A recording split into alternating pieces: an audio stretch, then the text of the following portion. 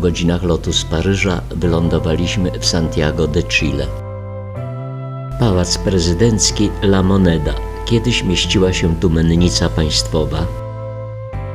Naprzeciw pałacu powiewa największa flaga w Chile. Policja w Chile została umundurowana w stylu włosko-austriacko-pruskim.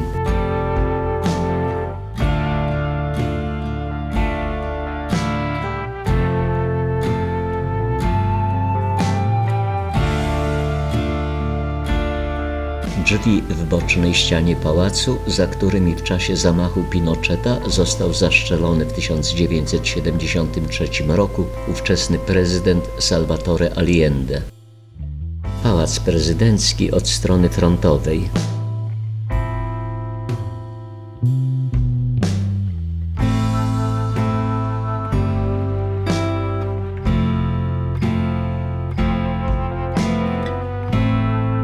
Pomnik prezydenta Salvatore Allende.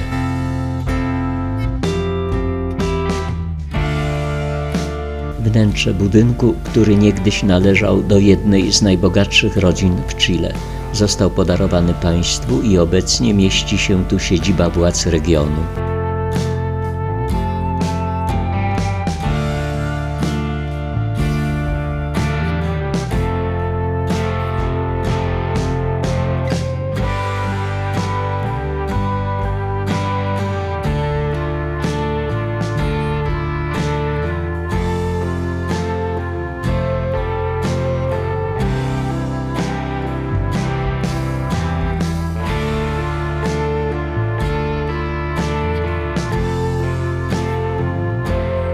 Plac de Armas, w rogu rzeźba upamiętniająca Indian Mapuche wymordowanych przez Hiszpanów.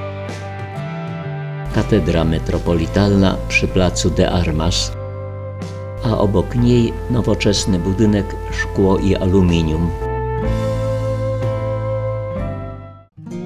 Wnętrze katedry.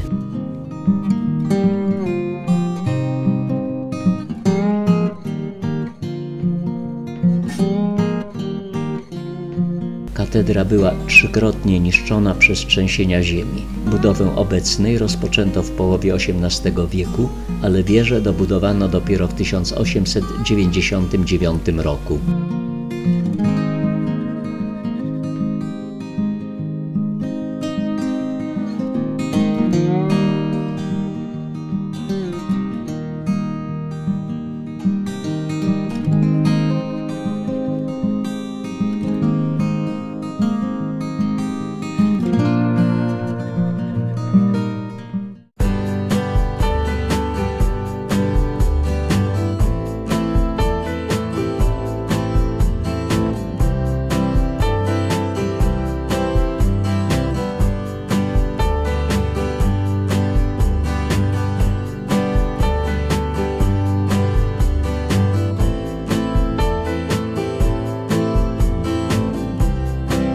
Na pomniku Pedro de Valdivia, który w 1541 roku założył Santiago de Chile.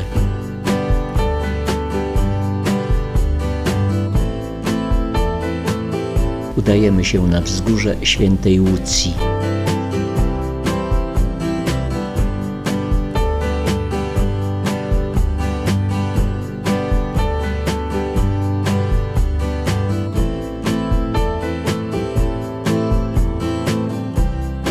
Na wzgórzu Świętej Łucji założyciel Santiago Pedro de Valdivia wraz ze 150 współtowarzyszami rozbił w 1541 roku obóz, a później wybudował tu twierdzę.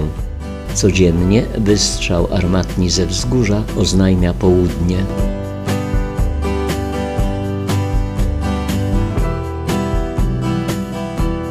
Santiago liczy około 5 milionów 700 tysięcy mieszkańców, co oznacza, że 1 trzecia ludności Chile mieszka w stolicy.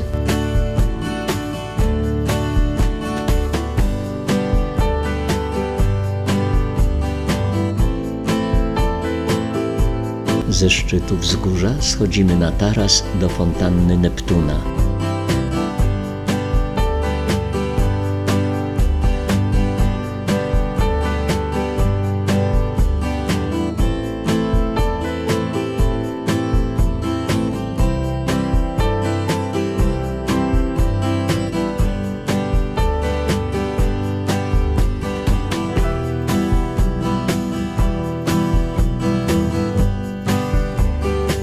Stacja kolejki naziemnej, którą wjedziemy na wzgórze San Cristobal.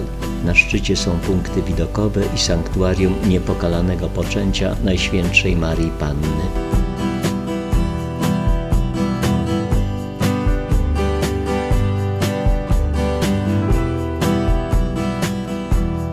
Stąd papież Jan Paweł II błogosławił miasto w czasie swej pielgrzymki w 1982 roku.